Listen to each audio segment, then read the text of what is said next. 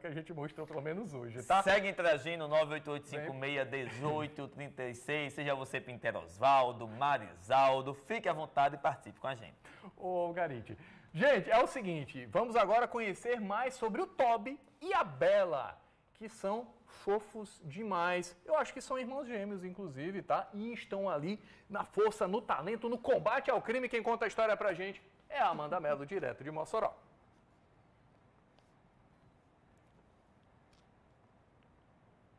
Inclusive, já vou procurar saber, viu, Murilo, se o Toby e a Bela têm algum parentesco, mas a verdade é que sim, eles atuam aí no combate ao crime, foram fundamentais durante uma operação deflagrada pela Polícia Civil, através da Divipoi, a Divisão de Polícia do Oeste, em parceria aí com o GAECO, Grupo de Atuação Especial de Combate ao Crime Organizado.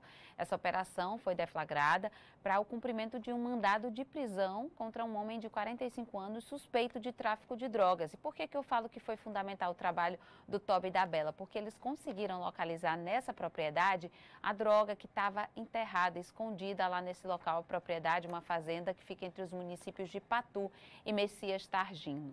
Eles foram até o local, farejaram onde estava o entorpecente e os policiais civis conseguiram escavar lá o local e encontrar a droga que estava escondida.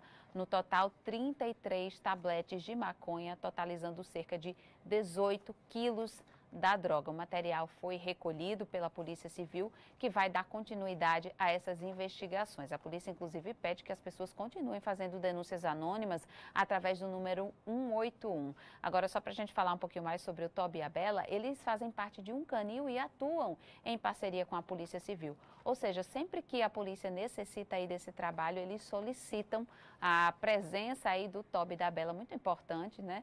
E eles são especializados né, em farejar material entorpecente, ou seja, como eu falei, né, foram fundamentais aí para esse trabalho para localizar a droga que fez com que o suspeito fosse preso em flagrante. Murilo Lucas, volto com vocês.